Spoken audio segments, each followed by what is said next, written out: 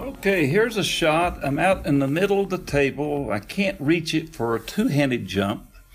So I got to jump over the balls and play the eight ball in the corner pocket. So I'm going to do it with the one hand. And this is not as hard. I teach players how to do this all the time. With I, I can I take any decent player, and within five or ten shots, I can have him jump them one-handed. The key to it, the most important thing is, is you hold it very loose right at the joint, uh, and it's all in the wrist. And you, you, you, it's about a 45 degree angle, and you take the tip to where you're about four or five inches away from the cue ball.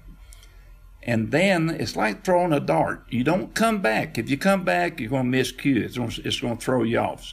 It's like throwing a dart. You go about four or five inches away, and just with your wrist, just just a flick of the wrist right into the center of the cue ball, and the cue ball will, will jump just like a normal jump shot, and you can make the eight. So, and it's it's mostly in the wrist. It's not in the arm. But don't come back.